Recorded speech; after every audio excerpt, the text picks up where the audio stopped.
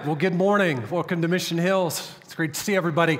I've got to admit to you today that I'm a little tired.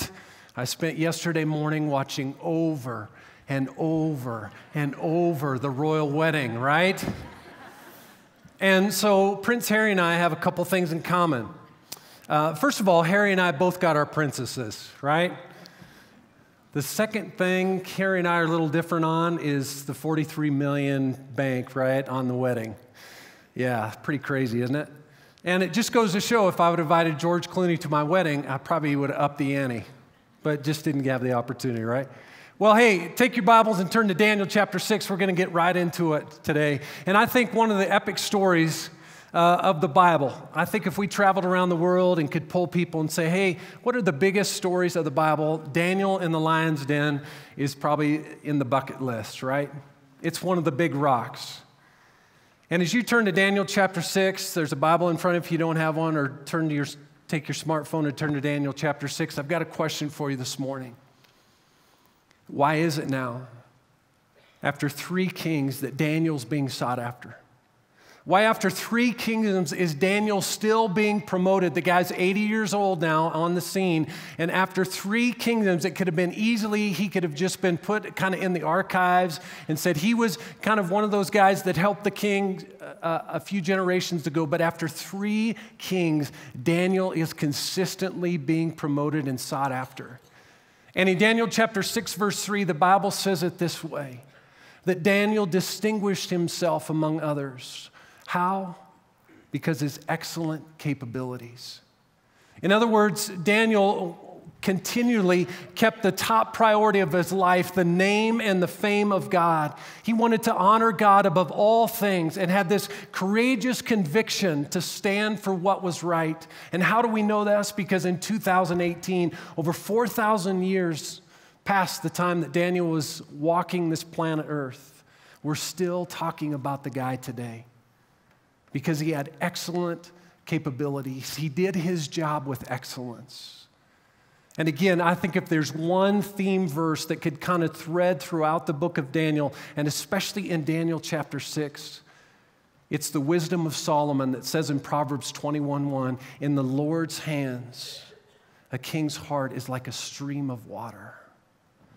And he channels towards all who please him. And you're going to see in Daniel chapter 6 this King Darius become to rise to power, and he begins to watch Daniel's life. And he begins to watch Daniel's God, and you're going to see a transformation begin to happen in the chapter of Daniel's chapter 6. Because in the Lord's hands, a king's heart is like a channel of water. Pray with me. Father, I pray today that you would open our eyes and our mind, and especially your heart to your words today. They are reliable, they are true. And so bring that truth to us today and change our lives as we read the book of Daniel together. Father, we thank you for this man's life and the principles of his life, that he had a courageous conviction to honor you. Amen. So in Daniel chapter 6, verse 1, the Bible says this It, is pleased, it pleased Darius to appoint 120 satraps to rule throughout the kingdom with three administrators over them, one of whom was Daniel. So 120 people were under Daniel. Daniel was seen somewhat as a prince under King Darius. The satraps were made accountable to them so that the king might not suffer loss. Now, Daniel so distinguished himself among the administrators and the satraps by his exceptional qualities that the king planned to set him over the entire kingdom. Now, in Daniel chapter 6 2, there's a statement there that I want us to lean in on and understand so that the king might not suffer loss. It's an interesting statement. It does not mean loss of money or personal bodyguard or even make me look good. Now, that's all included in this text. But it was anything that would bring harm to the king and his kingdom. Daniel and two, the, the other two administrators were being asked to help the king and his kingdom succeed. Now, understand the context of where Daniel is at this time. At 80 years of age, where he is, he's thriving in Babylon. He's consistently being promoted. The kings are seeking his advice. But listen, this isn't the church that Daniel's a part of. It's not a parachurch organization that Daniel's a part of. It's not even the Jewish government. Daniel's being asked to help a king and a kingdom succeed that is not following God. In fact, Darius was seen as a god, as one of the gods of the Medes and Persians. And he's not, Daniel's not working for God's people at all, but being tasked to help them succeed. And he does it so well that he's being promoted. A couple years ago, a TV show came on the scene. It was called uh, Undercover Boss. Anybody's watched that show? It's a great show. And by the end, even it makes a grown man start like welling up with tears, right? But essentially what it is is this is high-level corporate executives leave the comfort of their offices and window views and they secretly take low-level jobs within their company to find out how things really work and what their employees truly think of them. Isn't that amazing? Wouldn't that be fun to do? Maybe, right? Especially if you've got one of the low level jobs and you get to work with, find out that you've worked with the exec for the week. But if you're an executive, to find out what people really think of you down on the lower levels, right? Well, the CEO of a huge hotel in Vegas, Las Vegas, decided to do just that. He takes the challenge of undercover boss. And so he goes undercover and they disguise himself and put different hair and a mustache on him, and he gets hired in at the lowest level. And he begins to work with people doing the same monotonous job day in and day out. And he begins to work with a particular woman. And he begins to hear story after story of this woman named Rita. And what's interesting about Rita is this she works hard, was always positive, and had tremendous influence with other people that she worked with. She did the job with excellence. And after he attempted to poke fun at her boss, just to see kind of what she was made of. So he kind of comes in and starts being cynical and sarcastic against this big, ginormous hotel in Vegas, right? But she would not take the bait. She continued to do her job with excellence and do what was right time and time and time again.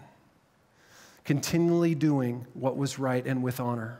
What he discovered was that Rita's job was this. After years and years of doing this, day in, out, and day in and day out, she would take the bedding off of hundreds of hotel rooms, wash the sheets, and remake those same beds, day in and day out, day after day.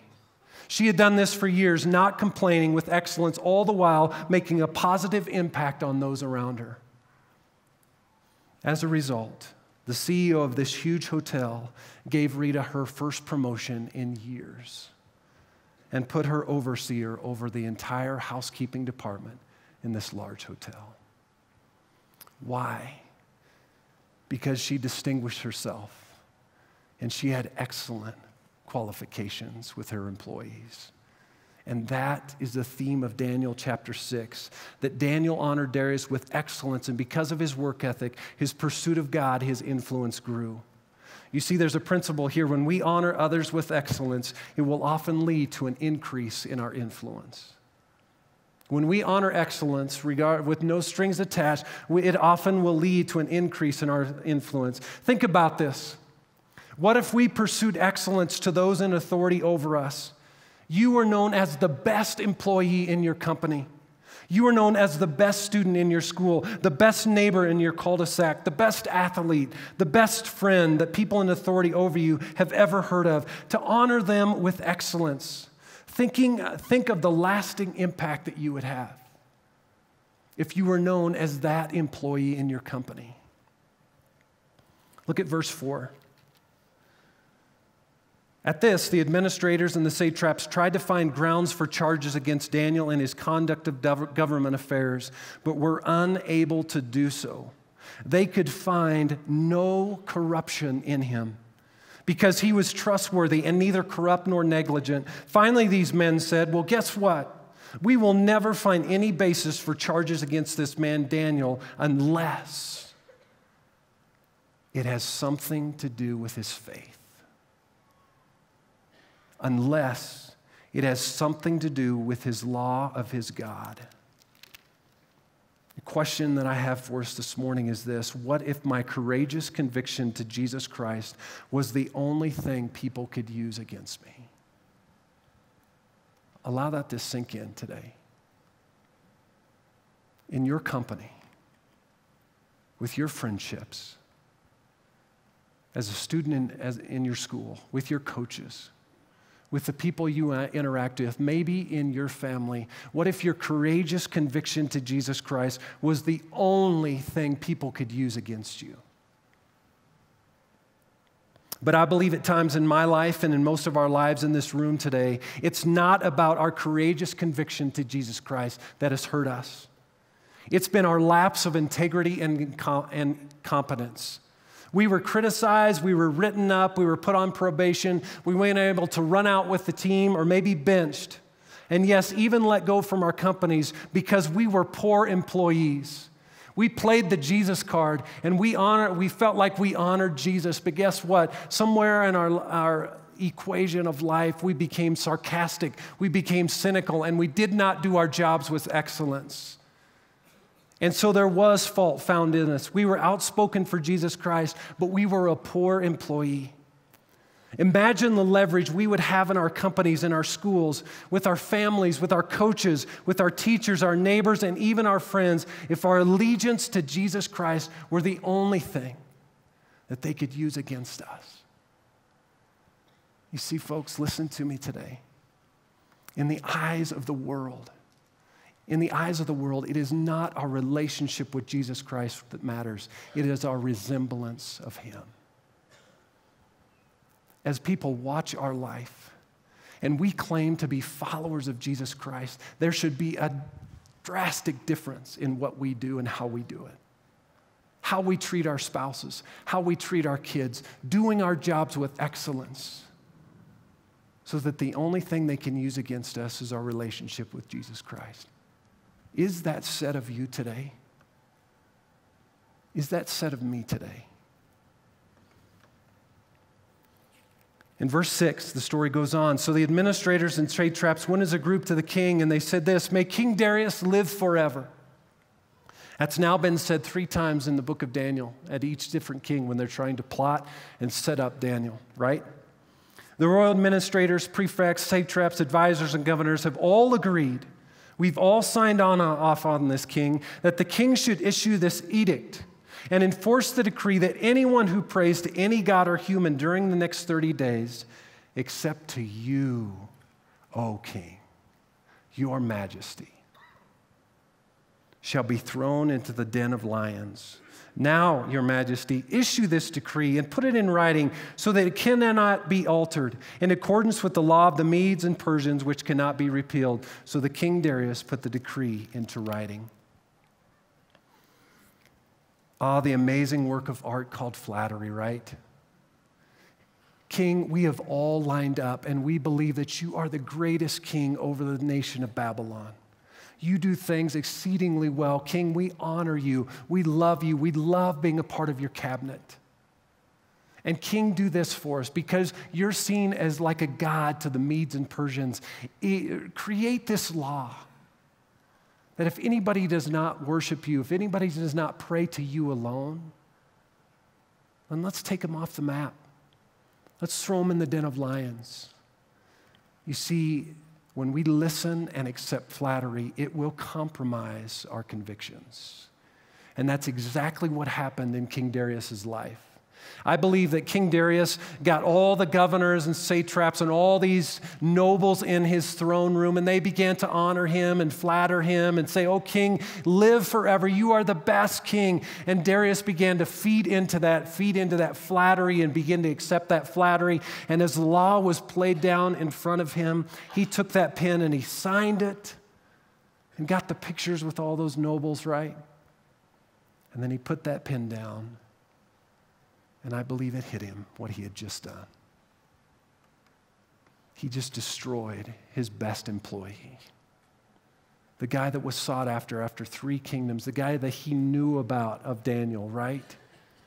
He had just put a law into the fact that would destroy his life. Now, I don't know if Darius was full of pride or insecurity. We don't know that.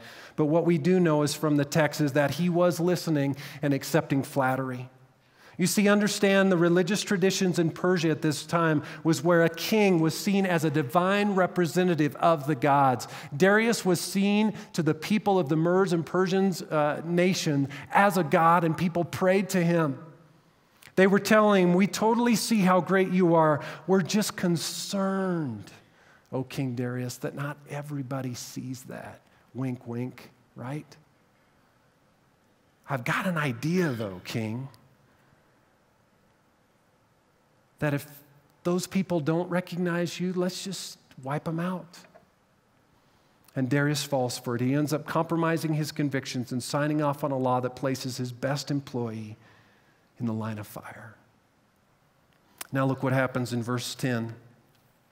Now, when Daniel learned that the decree had been published, in other words, when Daniel learned that Darius, his good friend, had signed off on this law, you know what he does? He stops his account on Facebook. He goes home and he shuts the door. He turns off his cell phone. He unplugs his Wi Fi. He gets under his bed and he thinks, for 30 days, I'm going to wait this out. I'm not going to talk to anybody. I'm not going to let them know I'm a follower of Jesus Christ. I'm not going to answer the door if they come to the door. I'm going to park my car in the garage for a change and not let anybody anybody know I'm home? Absolutely the opposite. Look what Daniel does. He goes home, goes to his upstairs room where it's very visible, where the windows open towards Jerusalem. He opens his windows, right? And three times a day, he gets down on his knees and he prays. And he makes the name and fame of God his top priority. And the Bible says it this way just as he had done before. There was nothing different about his life because he had not compromised his convictions. Then these men went as a group and they found Daniel praying. You see, they're feeding off each other. Let's watch. Let's all go to Daniel's house and see who he is going to choose. Either he's going to choose Darius or he's going to choose his boss or he's going to choose God, right? Let's watch him and they ask and, the, and asking God for help. So they went to the king and spoke to him about his royal decree, and now they're reminding the king. King already knows what he's done, what he's set in motion. But now this whole group has just found out that Daniel has been praying to Jerusalem with his windows open, and now we're all going to come and, and, and confirm that. And they come back to the king and they said, Did you not publish a decree that during the next 30 days, anyone Anyone who prays to any God or human being except you, your majesty, would be thrown into the lion's den. Didn't, didn't you do this, king? I mean, it says anyone on, on this law. The king answered, The decree stands in accordance with the law of the Medes and Persians, which cannot be repealed. Then they said to the king, Daniel, who was one of the exiles from Judah, pays no attention to you. Your Majesty, he does not pay attention to you or the decree you putting in writing. He still prays three times a day. When the king heard this, the Bible says he was greatly distressed. Now, what's interesting about this section of verses is this. What did Daniel do? He opens his windows. Where does he open his windows and where does he pray? He faces towards Jerusalem. His face was set towards the city of Jerusalem, the city of his God not towards the city of Babylon. You see, most of the world begin their days with their face towards the world, hoping to see what they can gain from it. But Daniel, listen to this. As a follower of Christ, our face needs to be pointed towards Jesus, His ways, His words, and we enter each new day in faith. Daniel had walked with God for more than 80 years and knew that he would not fail him now. God helped him stand when everyone else bowed under King Nebuchadnezzar. God saved his life by interpreting a dream for that same king. God delivered his best friends from being torched in the furnace. And if you look ahead to Daniel 9, verse 2, it says something pretty profound in that verse that Daniel had with him the prophecy of the prophet Jeremiah. He had the Old Testament scriptures of the prophet Jeremiah in his hands. So Daniel, guess what? Read the scripture that said this I am the Lord, the God of all humanity. Is there anything too difficult for me? A courageous conviction knows that private dedication will fuel public courage. You see, Daniel's private dedication fueled his public courage. And I want to ask this morning what are you doing in private that is fueling your public courage? Are you spending time alone with God? in, in reading absolute truth of the scriptures and renewing your mind day in and day out so that you can have that public courage to stand and not compromise your convictions. That's how we thrive as followers of Jesus Christ in this world where there's convictions being compromised all the time. We stand because we have a courageous conviction to rely on God's word as the source of our strength. And that's what Daniel is doing here. The Bible goes on to say this Then the men went as a group to the king Darius and said to him in verse 15, Remember, your majesty, that according to the law that you set in motion, the law of the Medes and Persians, no decree or edict that the king issues can be changed. So the king gave the order, and they brought Daniel and threw him into the lion's den. And the king said one last statement to Daniel Daniel, may your God, whom you serve, continually rescue you. It was kind of his last statement to Daniel before he sent him off to be executed. Verse 17 A stone was brought and placed over the mouth of the den. Then the king sealed it with his own signet ring and with the rings of his nobles, so that Daniel's situation might not be changed. Again, the law of the Medes and Persians, once a king set that law into motion, history tells us, it could not be changed. There was no way a human, it was humanly possible now to go against that, that law. The king returned to his palace and spent the night without eating and without entertainment being brought to him, and he could not sleep because he knew it was now humanly impossible to change what was set in motion. It was done, it was over humans had done everything they possibly could, and there was no way to save Daniel. You see, history would tell us that there was two types of ways to torture people with lions. The first one is kind of like the movie Gladiator. If you've seen the movie Gladiator, right? And they put Christians in this big arena, and, or people that went against the government, or, or went against the kings, or were thieves or burglars. They would put them in, in this arena, and, and then thousands of people would come out for entertainment, kind of like a college football team, a college football game, right? But people would actually walk away. But they would Thousands and thousands of people would come and watch these gladiators fight. And then, eh, you know, they would put the Christians into this arena, and then these lions would attack them and devour them. And the second form of persecution for Christians or people that went against the government or kings of that day, they would use the pit of lions. And it was actually a deep pit. And in, if you would look down into that pit, there was two sides with a stone wall between. One side was where the food would be kept, and the other side was where the den of lions would be kept. And they would take those lions and they would torture those lions and beat those lions and, and most of the time not feed them until someone was put on the other side or food was put on the other side. And to make those lions intentionally ferocious and angry. So when that food was dropped into the other side of that wall and that stone wall went up, those lions devoured whatever was on the other side. And so as Darius walks back to his palace that night, he begins to hear that stone wall being brought up. And he knows the outcome of the story. He knows that in a matter of moments, his good friend, his top employee, the person that had helped his pedigree of kings, was going to be destroyed. In fact, the Bible says it this way if you look in Daniel chapter 6, verse 24b, and before they reached the floor of the den, what happened, what the lions do with the people? The lions overpowered them and crushed their bones. And Darius knew that's what was going to happen. And so he said one last time, Daniel, I'm so sorry. And I hope your God can rescue you. There's nothing more I can do.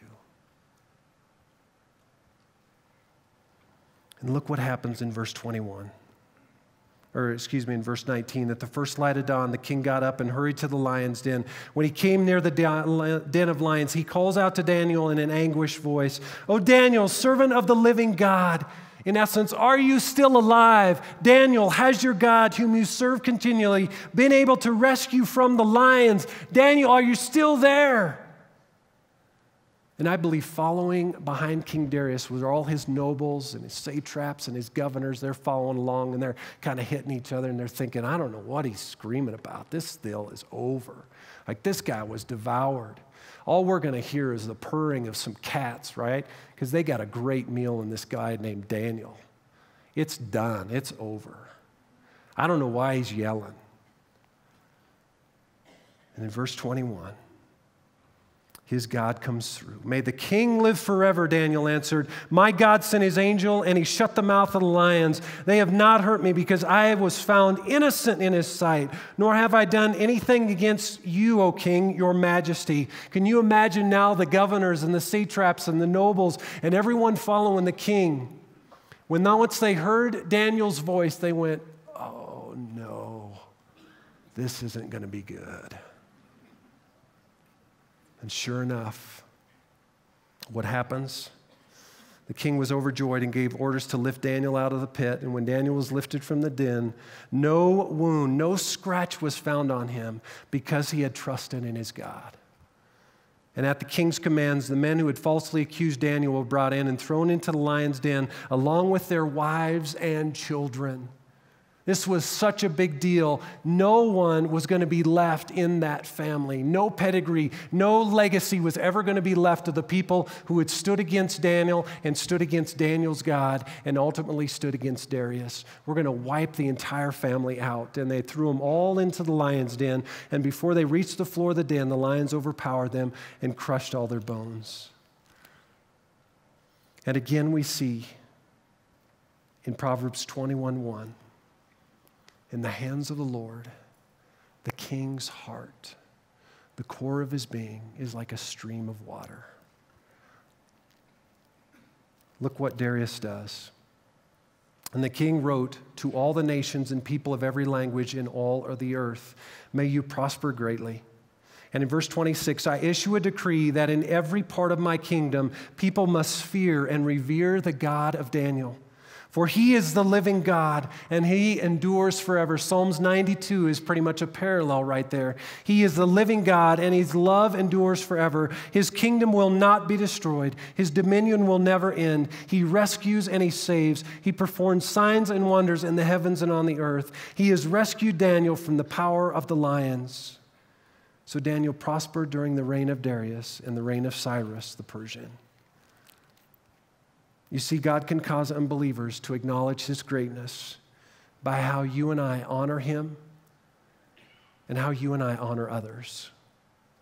Darius's life was like the stream of water in the hands of the Lord, and his life began to change over the course of Daniel chapter 6, and he began to revere and follow God at the end, to acknowledge that Daniel's God was the true God. And if we could say one thing about Daniel chapter 6, it would be this that we thrive when we have a courageous conviction to honor God and to honor others. We thrive. We will thrive in a culture that is more and more increasingly coming against the ways and the works of Jesus Christ. We can thrive in that when we have a courageous conviction to stand for what is right even when the, when the trumpet sounds, everyone else begins to fall and bow towards Babylon. We, as followers of Jesus Christ, will point our faces towards Jerusalem and say that I will follow Jesus Christ, regardless of what our culture says. I will stand for what is right. I will stand and do my job with excellence because people are watching my life, and I will not compromise my convictions. And we can have a courageous conviction through the power of the Holy Spirit to honor God and to honor others. A season is coming here in the fall that's one of my favorite seasons. It's college football. Can't wait. The only two, really, the only three things we have in Nebraska really are the Huskers, Warren Buffett, and the College World Series. So college football is a big deal for us. And a number two, kind of close second of the Nebraska Cornhuskers is Clemson University, Dabo Swinney. Here's a couple things you may not know about Dabo. Dabo's uh, obviously the football coach at the University of Clemson. There he is holding his beautiful trophy. In 2016, he was the national championship coach. And, and here's what's amazing he has a truly crazy story. Dabo is the product of a broken home with an alcoholic father. He was a teenager when his family lost their home to foreclosure. And during his freshman year at the University of Alabama, while walking onto the football team, Dabo's mother had to come with him to campus. Not to visit, but to live with his son, live with her son. You know why? She had, she had no longer had a home.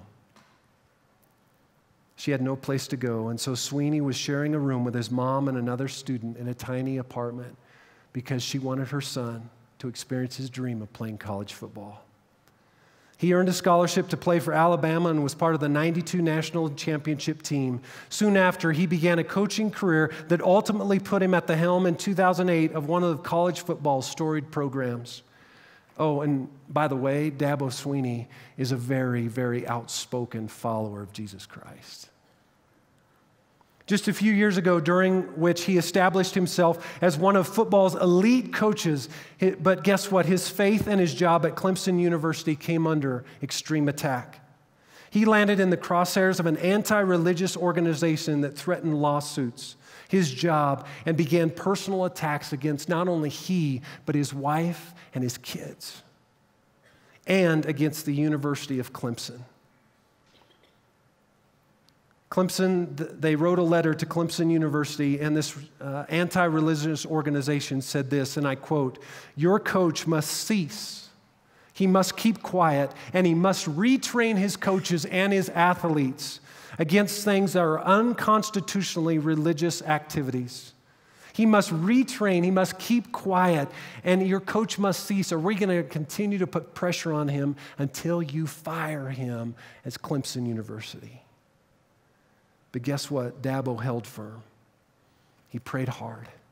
And what is amazing, Clemson University, a secular public university, did what? They backed him.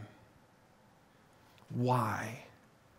Coach Dabo Swinney, they said, has done nothing wrong. The accusations are false. Beyond the game of football, he continues to do the right things over and over and over again. He, begin, he continues to teach and lead our student athletes with excellence and is an outstanding employee for the University of Clemson. You see, we thrive when we have a courageous conviction to honor God and to honor others. Pray with me.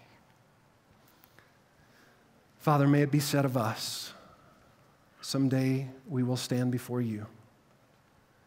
We will stand and see eye to eye with you. And Daniel will stand and see you face to face. And King Nebuchadnezzar will see you face to face. And Belteshazzar will see you face to face. And King Darius will see you face to face. And God, in that moment when our eyes meet, we want to hear the words, Good job, faithful servant. You have followed me with excellence. You have honored our God. May that be said of us today. Amen.